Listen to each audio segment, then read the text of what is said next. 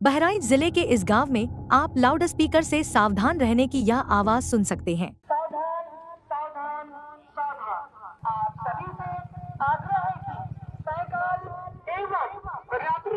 बच्चों को अकेला न एवं बहुत आवश्यक होने पर ही रात में घर से बाहर निकले दरअसल ये तस्वीर बहराइच के हरदी थाना क्षेत्र की है जहाँ भेड़िए के आतंक ने ग्रामीणों को खौफ में डाल दिया है। इस खूनी जानवर ने अब तक सात मासूम बच्चों की जान ले ली है। बच्चों को अपने सुरक्षित रखें और जागते रहें और बच्चों को अपने घर के अंदर रखें। ये सब प्रशासन द्वारा आदेश दिया गया है भेड़िया। नुकसान किया? कई बच्चों को खा गया पाँच छह बच्चे के शिकार कर गया। कितने से कितने समय तक अब हम लोग करते हैं रात में आठ बजे से चार बजे तक और इसके बाद दिन में भी कर देते हैं। कौन कौन से गाँव में प्रचार अभी तक आप पूरे न- नकाही और लोनियनपुरवा जंगलपुरवा गडरियनपुरवा लोनियनपुरवा और अहिरनपुरवा भटौली। क्या क्या नुकसान अब तक ये भेड़िया कर चुका है? भेड़िए बच्चों को खा गया है केवल बच्चे और बच्चियों को। हमला भी किया। हमला हमला किया कई जान भी गई। जानवरों पर हाँ, जान पर नहीं।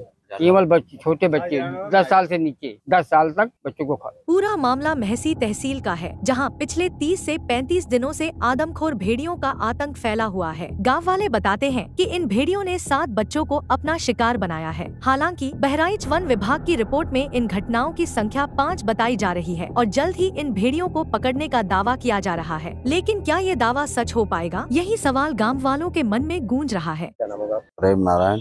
प्रेम नारायण यादव प्रधान प्रतिनिधि पूरे बस्ती गड़िया यही के। हाँ यही आज रात तो हुई।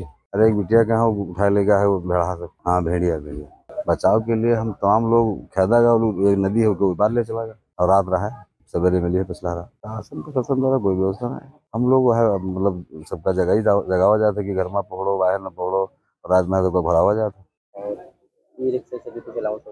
हाँ। कराया कि मतलब रात में हाँ जागो और छत पर पकड़ो घर में पकड़ो बाहर न पकड़ो।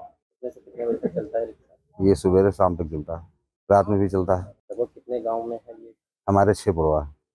पूरे बस्ती गड़रिया में छह पुरवा। है वन विभाग ने भेड़ियों की तलाश के लिए ड्रोन लगाए हैं, जिसमें एक साथ चार से पाँच भेड़िए दिखे हैं, लेकिन अभी तक किसी को पकड़ा नहीं जा सका है। भाजपा विधायक सुरेश्वर सिंह ने रात भर ग्रामीणों के साथ बैठक की और उन्हें सतर्क रहने के लिए कहा है। भेड़ियों के हमले से अब तक कई बड़े और छोटे लोग घायल हो चुके हैं, लेकिन सबसे ज़्यादा खतरा बच्चों पर मंडरा रहा है। लगातार हो रहे हमलों से ये भेड़िए मानव खून के आदि हो गए हैं, जिससे इनके हमलों की संख्या और बढ़ सकती है। इस खतरे को देखते हुए बाराबंकी और लखनऊ की वन विभाग की टीमों को भी निगरानी के लिए बुलाया गया है ताकि जल्द से जल्द इन खूनी भेड़ियों को पकड़ा जा सके।